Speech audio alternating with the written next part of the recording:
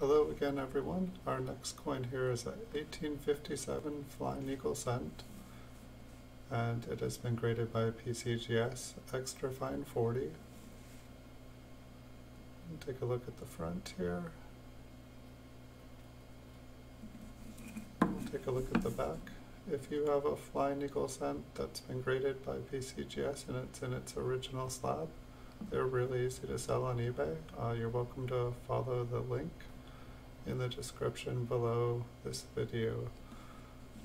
And uh, if you go there, um, it'll be this coin and it'll have all the details of the listing. Um, and you're welcome to copy mine. Uh, you'll need photos of your coin, um, but otherwise, uh, if you copy uh, the listing details from mine, uh, it should go pretty quick.